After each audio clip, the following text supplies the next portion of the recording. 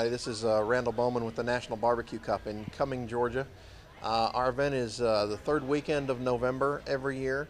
Um, we generally draw about 150 total teams. It's about 100 professionals and 50 backyards.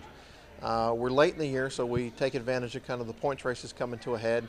Uh, we usually get some of the top names, the Rod Grays and the Johnny Triggs and and uh, you know, Warren County Pork Choppers is here this year. We've had Three Eyes and Bubba Q, and pretty much all the big guys are, are here at one time or another.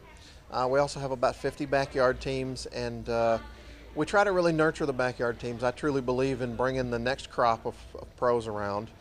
Um, I, I, came up with this concept because I live here in Cumming, Georgia, where the event is, and uh, we had this incredible facility here with the City of Cumming Fairgrounds that had hard infrastructure of uh, electri- electrical lines in the ground and power just everywhere. I've got about 400 full hookups of power for teams uh, at some point. Um, we've got water in the ground. We've got a campground on the back that has 96 full power hookups that have water as well as sewer. Um, we've got a shower house and just anything you could imagine. There's an 8,000 square feet arena. Uh, it is a 72 acre complex total um, so anyway, and here in my hometown, I've always thought, God, this would just be a great place for what we as barbecue competitors do. And I began working on it about five years ago, and it took me a couple years to get it put together. Uh, once we kind of started spreading the word and talking to uh, teams and our friends and judges and reps and everybody else, we, we had assembled a team of master judges that helped volunteer and we picked our rep teams, which is uh, Ernie and Linda Poland and Philip and Kathy Brazier. Uh, and we added Doug and Sue Reed our second year when our when our backyard grew a little bit bigger and we needed more reps. Um, we started soliciting the community and, and people related with the industry for some partnership dollars to help get the event going.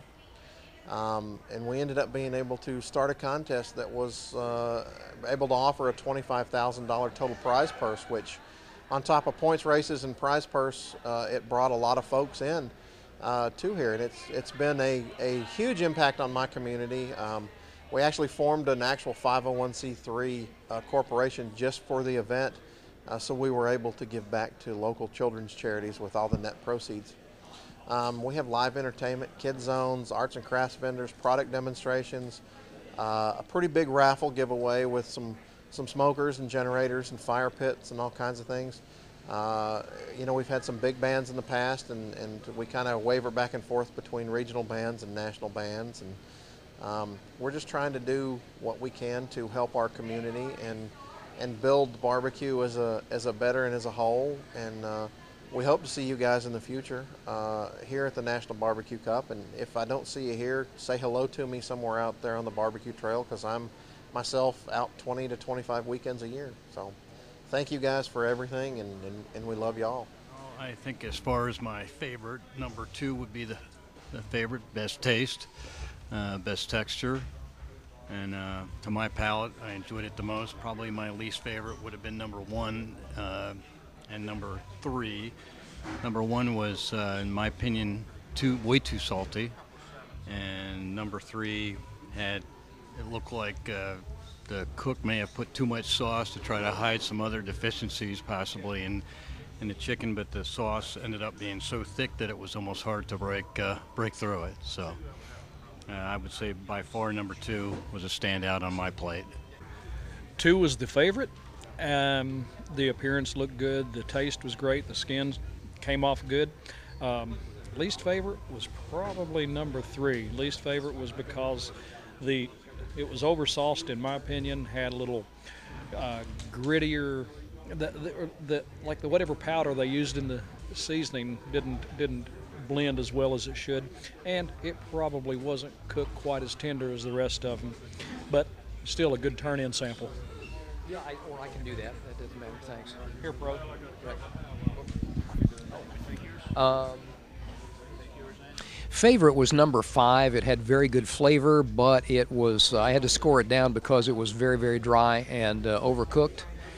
Uh, and then number one had some number one had some very good flavor, but too much salt, too much heat. Although the texture was, I thought, right on the money.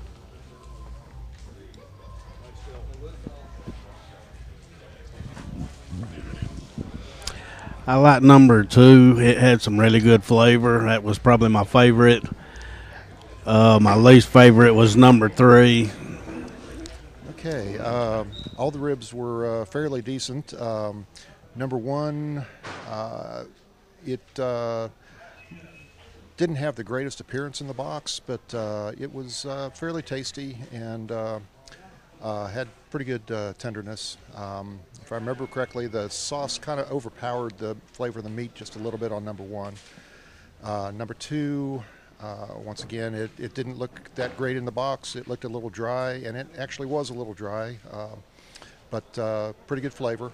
And number three uh, looked good in the box, uh, and it uh, the taste on the number three was kind of fruity. It was a little different, uh, but uh, had had good uh, tenderness.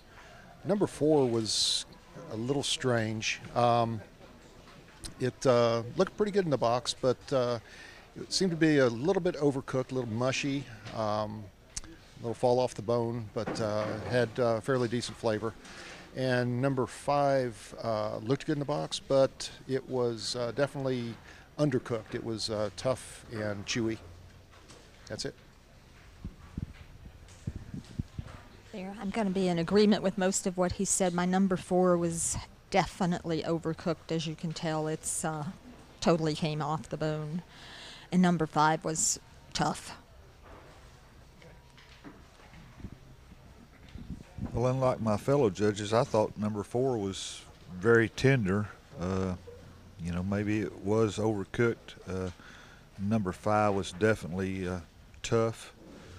Uh, I thought uh, number one had sort of a strange taste to it that didn't quite uh, wasn't to my liking, but overall some good some good quality ribs.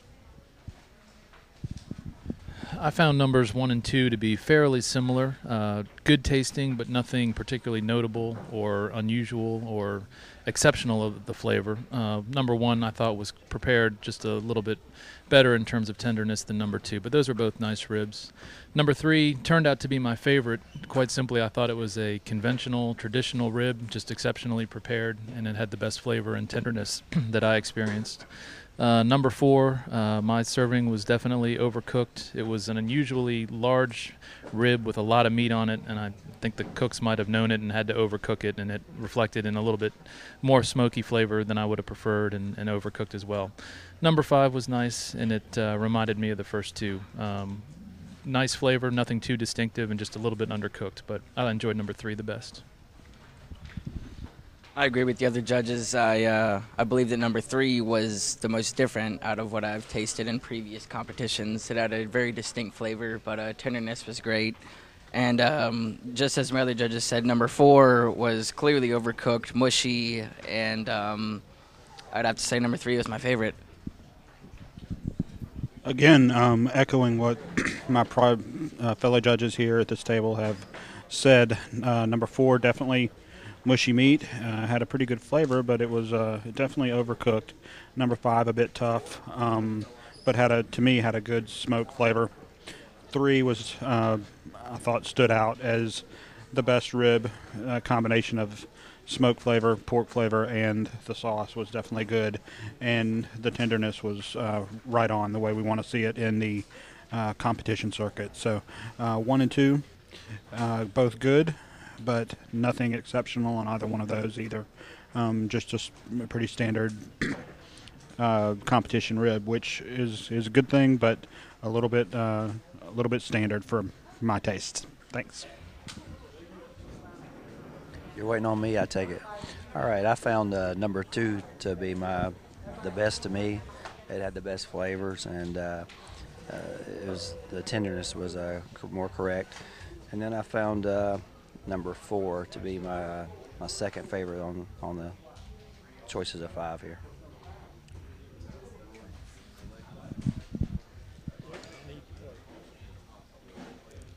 Okay, my favorite was number two. Found the tenderness to be very good and the flavor to be excellent.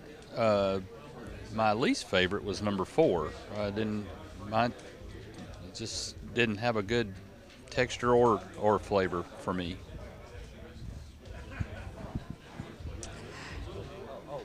Oh, um, I agree that number two was my favorite. It was very moist and juicy and tender. Although I did think number three was full of flavor. Number four and number five four was overdone. The meat was mushy, and number five had a strong lighter fluid taste to me. I did not enjoy it. And my favorite was uh, number two. Also, it was uh, had a great flavor to it. It was uh, the texture was great. I also thought the texture of number three was great. I didn't particularly care for number five. It was a little tough to chew. Uh, number two, I agree. It was the best in both tenderness and taste, nice smoky taste, and the barbecue sauce was not overwhelming. Number five was my least favorite, although it was nice and tender. It was uh, a very off putting taste to the product. I also liked number two the best. It had uh, great taste and um, excellent tenderness. I found number four to be overdone and bland, um, and I also found number five to have an off putting flavor as well.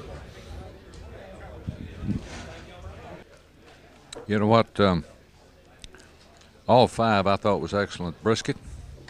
Uh, I gave them all good scores. I didn't have a clear favorite, to be honest with you. They were all very good. Out of these five, uh, number one and two were the ones that I gave the highest score to. The third one was good. Um, the fourth one had a little bit of a burnt taste to it, so I graded down on the taste on that one. And the fifth entry, um, I found the brisket to be a little bit dry, and so I graded down on tenderness a little bit on the number five. I'll agree, and I thought all five had really good flavors, good taste, good tenderness.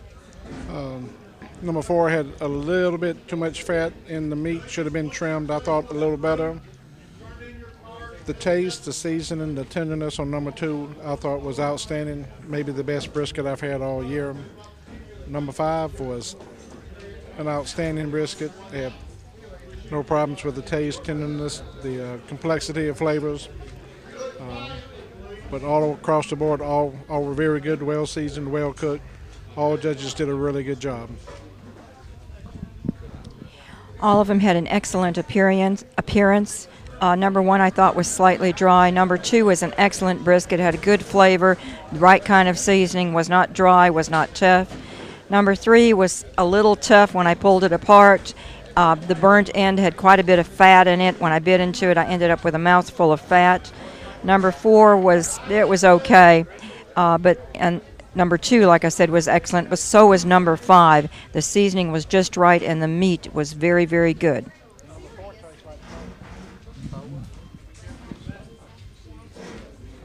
all, of them were were pretty pretty even. They're at number two, and I'd say number four and five were the, the better the best of the of, the, of them.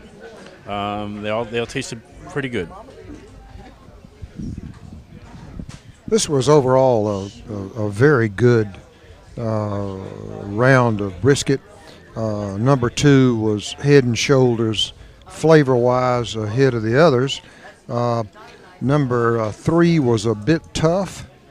Uh, all of them had, had excellent appearance, but clearly uh, no problem for me in judging number two the best because of flavor.